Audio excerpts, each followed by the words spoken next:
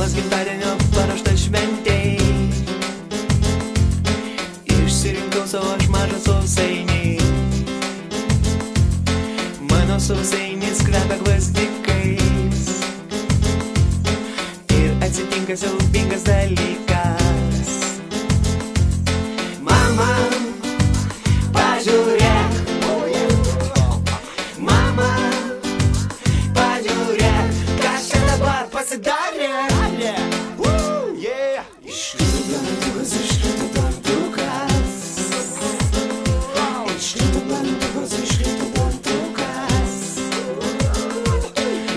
nežinau, nežinau, ką daryti.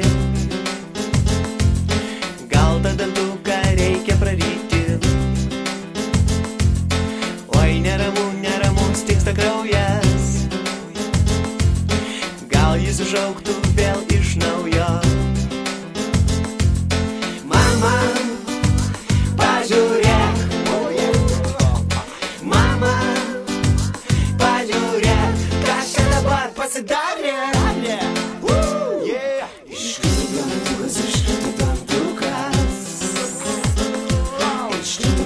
aš irgi papasakosiu savo istoriją. Jau stalas gimtadienio buvo ištuštėjęs. Visi svečiai jau seniausiai išėję. Ragauju sausainį ten, kur kvepia gvazdikais. Ir atsitinka siaubingas dalykas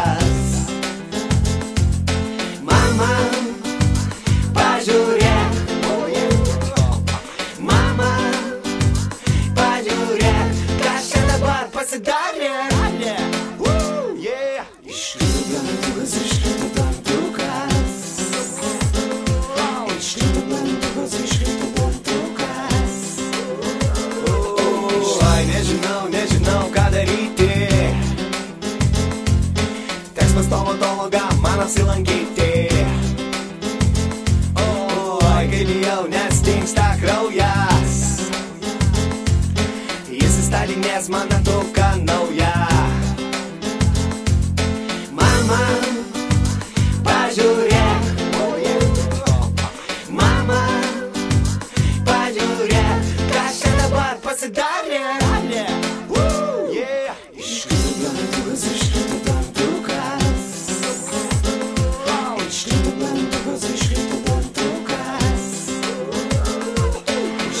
Dėmesio. Jūs jų laukiate. Jie jau čia. Senelis ir senelė iš Marijampolės. Važiuojam. Sveiki, sveiki,